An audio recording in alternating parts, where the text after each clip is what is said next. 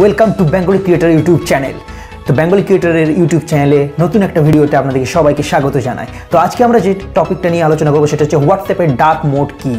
তো হোয়াটসঅ্যাপের dark mode জানার আগে তো ফার্স্টে চ্যানেলটিকে আমার সাবস্ক্রাইব করে নিন যদি নতুন হয়ে থাকেন। তো বেশি কথা না বলে শুরু করে যাক।